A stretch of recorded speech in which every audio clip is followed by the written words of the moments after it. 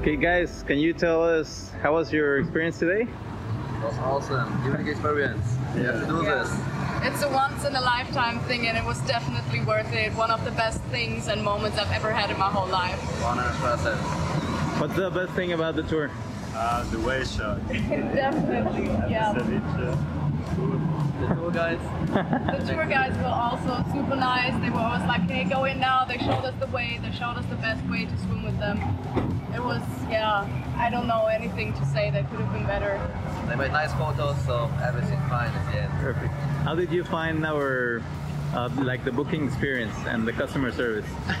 Uh, I actually just gave you a call and everything was arranged, so I liked it quite a lot. It was really easy to do. You Okay, know, guys. The customer service was perfect. Between that seven hours, very fast. Yeah. Would you recommend us?